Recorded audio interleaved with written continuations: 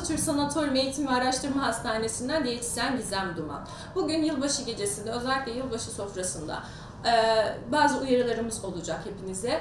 Özellikle yılbaşı gecesi diye diyetlerimizi bozmaktan kaçınmamızı özellikle istiyoruz. O yüzden birkaç uyarıda bulunacağız. Yılbaşı akşamının diğer akşamlardan farkı olmadığını, rehavete kapılmadan beslenme düzenimizin bozmamamız gerektiğini unutmayalım. Özellikle hasta bireylerimizin yılbaşı gecesi rehavetine kapılıp alkollü içecek tüketiminde aşırıya kaçmamaları ve sağlık, sağlıklarını tehlikeye atmamaları çok önemlidir. Özellikle bir gün sonra mide problemi yaşamamak amacıyla ya da sağlığımızı tehlikeye atmamak için yılbaşı günü dikkatli beslenmemiz gerekiyor.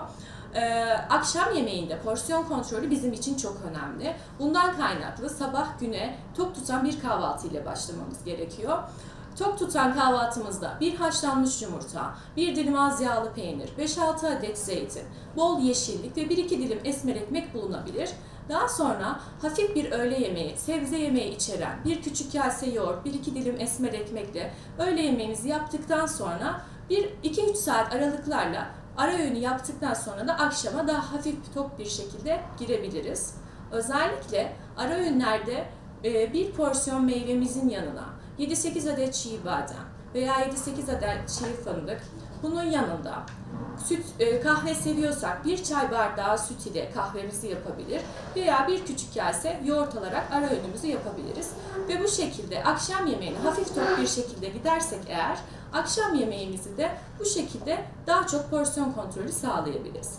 Akşam yemeklerinde özellikle şu şekilde uyarılarım olacak. Kalp hastaları kırmızı et yerine daha çok balık ve tavuk gibi beyaz etleri tercih etsinler. Aynı zamanda yine aynı şekilde fırınlanmış veya ızgara şeklinde tüketip yanına mutlaka yeşillik salatalı salata bulundurup ve 1-2 dilim esmer ekmekleri bulundurmaları gerekiyor. Bundan sonra daha, daha çok diyabet hastalarımıza yönelik de uyarılarım şu şekilde olacaktır. Özellikle tatlı kısmında tatlılardan mutlaka uzak durmaları gerekiyor. Bir kerecikten bir şey olmaz, bu gecelik yiyelim diyerek kendi sağlıklarını tehlikeye atmalarını istemiyoruz. O yüzden sadece meyvenin kendi şekerinden yapılmış tatlıları tüketebilirler ya da yemekten birkaç saat sonra yapılan atıştırmalıklarda meyve ile birlikte kuru yemişlerini birlikte tüketerek ara öğünlerini tamamlayabilirler. Ve böylelikle mutlaka şekerlerini dengede tutmalarına yardımcı oluruz.